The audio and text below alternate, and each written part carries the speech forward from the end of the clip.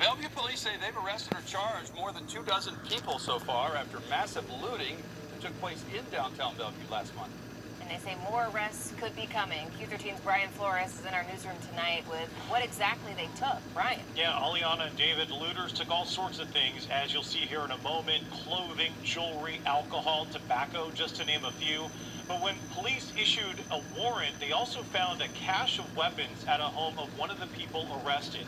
Uh, Bellevue police held a news conference earlier today showing some of the merchandise that was recovered. You can see many clothing items there on the, on the table, also weapons and ammunition, as you saw earlier. They also provided us some pictures of some, some of the items recovered as Oh, well. man, This, that's a lot. uh, suit jacket, for example, retailed at more than $250, but thousands of dollars worth of merchandise was recovered. Bellevue police also tell us the day of the looting, a police sergeant pulled over a car and saw merchandise inside.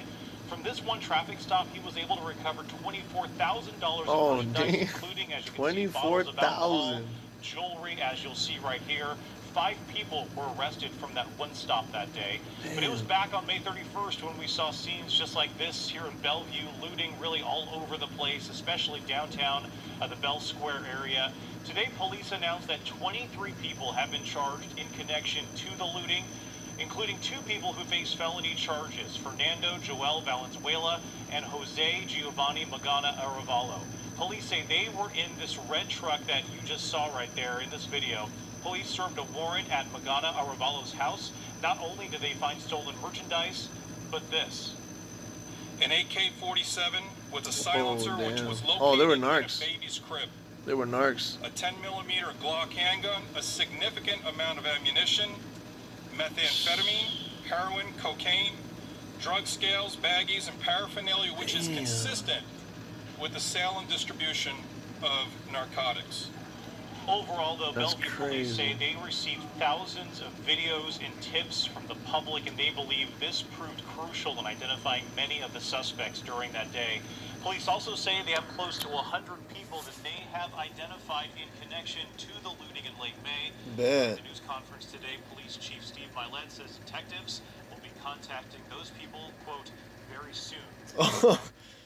As a warning to all them people that were caught on CCTV. That dude had an AK-47 with a drum bell and a lot of ammunition. Like I'm talking about, he had like three. Let's go. Let's go look at it. Why am I even talking? Let's go look. Let's go check it out. All right. Let's. uh 10 millimeter Glock handgun, Look at that. Woo! That's a narc. That dude had drugs and everything. That's crazy, huh? They got him because he was stealing. Look at that. This guy. Significant amount of ammunition, methamphetamine, heroin, cocaine, drug scales, baggies, and paraphernalia, which is consistent with the sale and distribution of narcotics. That's crazy. They caught him because that dude was looting. Damn. All right. Racial tensions in Chicago are high. People in Little Village say they've seen an increase in Latino gang activity against African Americans who live here and who come through. But the people who marched today condemn that violence and are calling on black and brown communities to unite. That's what's up. Yes, there was violence. Yes, brown people hurt black people. And yes, the police stood there and did nothing. A call for peace and solidarity as several hundred people march under the arch, welcoming all to Little Village. Our lives as brown people is connected to the lives of black people. We will never get respect until black people get respect. Organizers say there have been instances of increased Latino gang activity in Little Village targeting African Americans over the past few days. It's important for us to to be here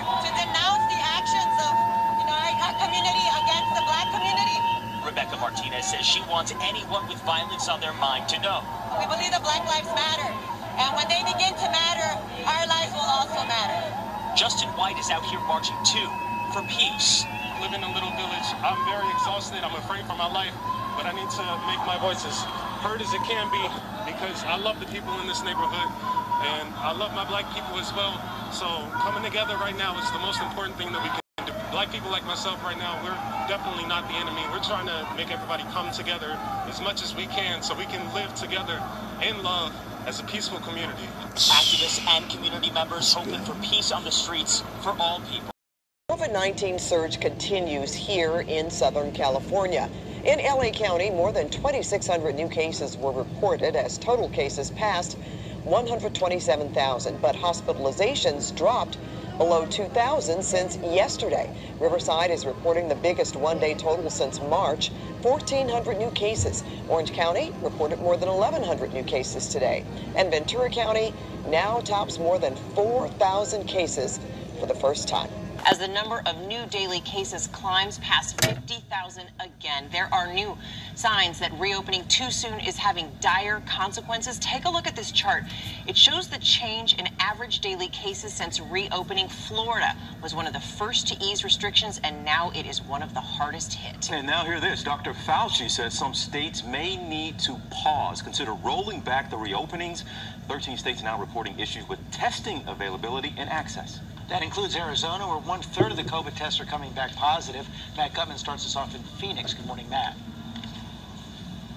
Hey, good morning, George. The numbers over the past couple of weeks have been mind numbing, but what is plain as day, even in the dark here, is the need for testing. That car got here at midnight. There are already dozens here, even though they know they probably won't get the results back for two weeks. And when public health experts see this, they say the testing system is collapsing.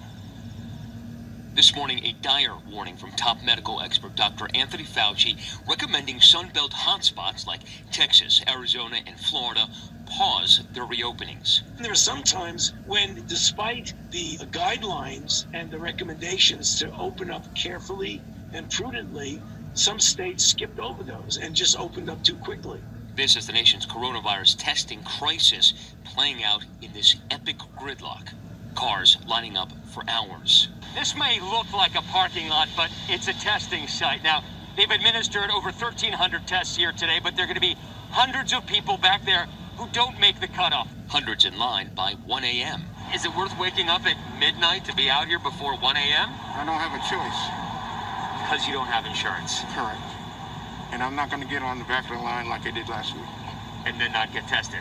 Correct. One car overheating and bursting into flames and Holy hundreds shit. had to be turned away. I had a gentleman who was in tears because he had waited so long and for so many days, and that's what breaks my heart. On Thursday, Arizona Governor Doug Ducey addressing COVID publicly for the first time in over a week, but not offering much change. Today, there's a new executive order that will limit indoor dining to less than 50% occupancy. You want to be in places where you can limit the number of people. For those waiting in the pre dawn heat, that's not enough. As a country, when you compare us to other countries, I don't think you can say we're doing great. I mean, we're, we're just not. In Florida, more than 50 hospitals have zero ICU beds available. This graph by the New York Times showing a nearly 1,400% increase in average daily COVID cases compared to when Florida reopened about two months ago. And overnight, Miami Dade school superintendent, the fourth largest school district in the country, telling ABC News, despite the governor's order, his schools will not reopen until the county enters phase two. Now, Arizona and Phoenix specifically are considered one of the COVID capitals of the world. And for the first time in nine days, Governor Doug Ducey coming out, briefing the public about the coronavirus, and his big announcement is limiting indoor dining to under 50%. This at a time when public health experts say the only way to stop the virus is to shut states like this down completely.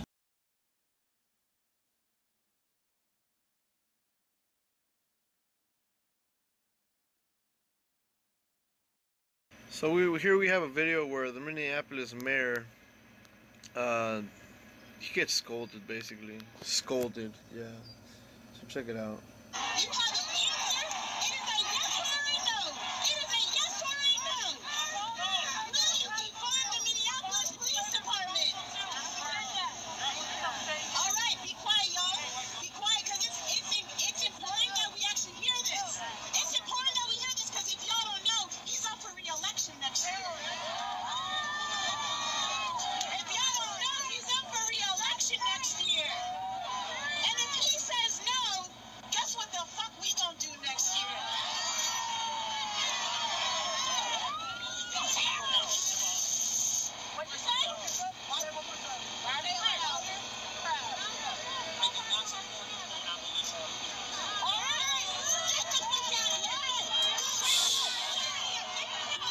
Cool.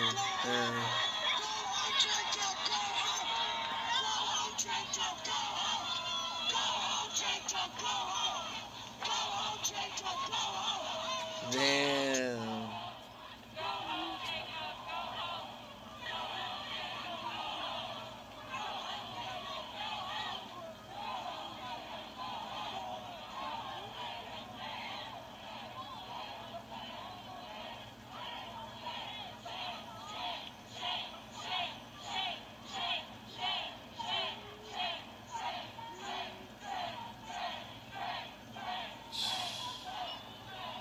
There's a lot of people there. Damn, that sucks. That is the mayor of Minneapolis.